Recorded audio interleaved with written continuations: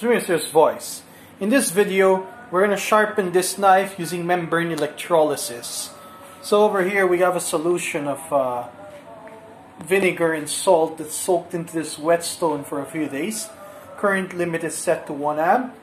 And this is the anode, this is the cathode, and this is the membrane. So this is a technique known as electrochemical or abrasive grinding. It is used to sharpen. And as you can see, whenever I sharpen, there's a little bit of current running through.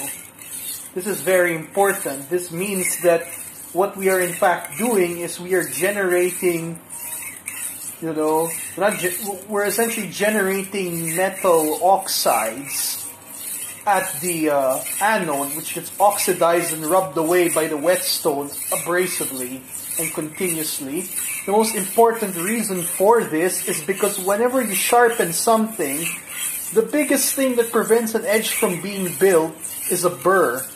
And when you have a burr at the end of, a, of an edge, it is not very sharp. With just pure abrasive grinding, this burr exists. However, with electrochemical grinding, the burr is dissolved away by the uh, action on the uh, of the uh, of the acidic uh, anions that are generated at the anode, which oxidize the metal away. And it sounds a little different from sounds more than the other style, you know?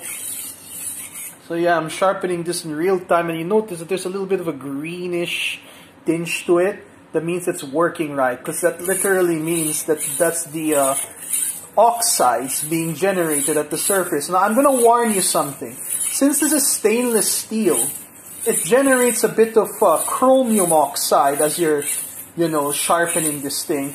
Not like a sharpening stone already looks green and probably contains chrome, just to abrade stainless steel or whatever it contains. But basically, the uh, you have to wash your knives after you sharpen them this way. Do not directly use them on food because you do not want chromium oxide in your uh, food. Anyway, you sharpen this just like an ordinary knife and well, you're gonna get some amazing results.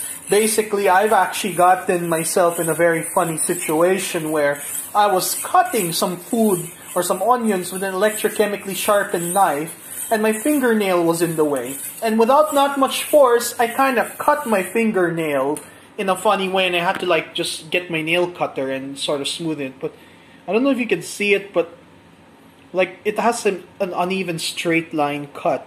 Although I've already cleaned it up, but basically my fingernails are pretty long, and it sort of just cut straight across, which was not really the best thing. But after you've sharpened this for a while, you know, after and you cleaned it, you notice that the edge you formed. Okay, should not do that.